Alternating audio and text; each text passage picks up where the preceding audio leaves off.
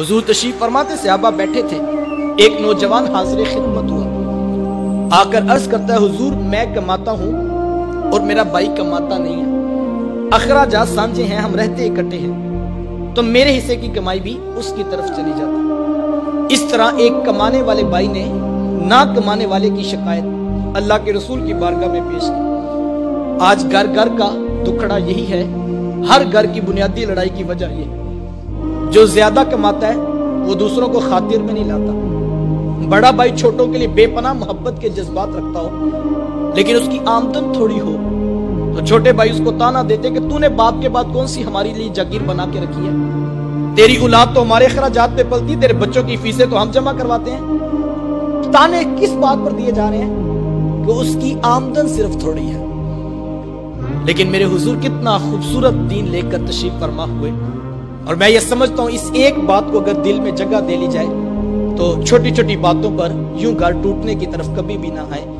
عرض کی حضور، میں کماتا ہوں، میرا بھائی کماتا نہیں ہے، رہتے اکٹھے ہیں اخراجات سانجے ہیں، تو میرے حصے کی کمائی بھی اس کی طرف چلی جاتی ہے۔ میرے حضور، بے ساختہ ارشاد فرمایا۔ حضور فرمایا، ہو سکتا ہے، اللہ تجھے رزق تیرے اس بھائی کی وجہ سے دے رہا ہو جو کماتا نہیں ہے۔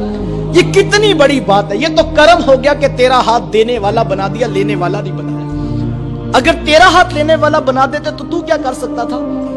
تو بھی تو اسی ماں کی گوشت سے پلا تو بھی تو اسی بات کی اولاد ہے۔ تیری رگوں میں کوئی الگ سے خون تو نہیں دوڑتا، تیرے دماغ میں کوئی الگ سے سوتے تو نہیں پھوٹتے۔ تجھے اپنی ڈگریوں پہ ناز ہے، تیرے سے بڑی بڑی ڈگریوں والے لوگوں کے آگے خاک چھانتے پھرتے ہیں۔ ساری برادری پورا خاندان نیچے رہ گیا، چچا تائے نیچے رہ گئے، تیس تیس سال سے کاروبار کرنے والے۔ تیرا ستارہ اوجے سوریا کی بلندیوں کو چھونے لگا۔ تجھے اس لیے اونچا تو نہیں کیا تھا کہ تو M P A M N A کے ہاں عید کے گفٹ بیچتا پھرے۔ تو جو ہے وہ کلونی والوں کے ساتھ رشتہ داریاں جوڑتا پھرے۔ تو وزیر مشیر سے وزیر اعظم تک رسائیاں حاصل کرتا پھرے۔ تجھے اونچا اس لیے کیا تھا، تو پلٹ کے پھر نیچے دیکھتا۔ اور جو نیچے رہ گئے تھے ان کو کھڑا کرنے کا مزاج پیدا کرتا۔ وہ کسی دانشور نے کسی کروڑ پتی سے پوچھا تھا کہ جناب، آپ کروڑ پتی کیسے بن گئے؟ تو اس نے بے ساختہ کہا، میں نے اپنے نیچے والوں کو لاکھ پتی بنا دیا، قدرت نے مجھے کروڑ پتی بنا دیا۔ جو نیچے محبتیں بانٹتا ہے، اللہ اس کو اوپر سے رزق کی فراوانی عطا کرتا ہے۔ ہم سمجھتے ہیں کہ امیر کے ساتھ تعلق بنے گا تو پھر ہم اوپر جائیں گے۔ نہیں صاحب، اگر غریب بھائی کی قدر کرنے کا مزاج بنا لو، تو یہ اتنا خوبصورت وظیفہ ہے کہ یہ رزق میں برکت کا سما کرتا حضور علیہ السلام سے صحابہ نے ایک دن پوچھا کہ حضور، رزق میں برکت کا وظیفہ تو بتائیے۔ حضور فرمایا کہ تمہیں رزق میں اور عمر میں برکت کا وظیفہ نہ بتا دوں۔ عرض کی حضور آپ ارشاد فرمائیں۔ فرمائے ٹوٹے رشتوں کو جوڑا کرو۔ اللہ رزق میں بھی برکت دے گا، اللہ عمر میں بھی برکت دے گا۔ یہ برکت کا وظیفہ تھا، لیکن آج ہم اس سے کوسوں جو ہے وہ دور چلے گئے۔ ہر چیز کا حساب دو جمع دو چار نہیں ہوتا ہے۔ صاحب، کچھ اخلاقیات بھی معاشرے کے اندر اس وقت جو ہے پہلانے کی ضرورت ہے۔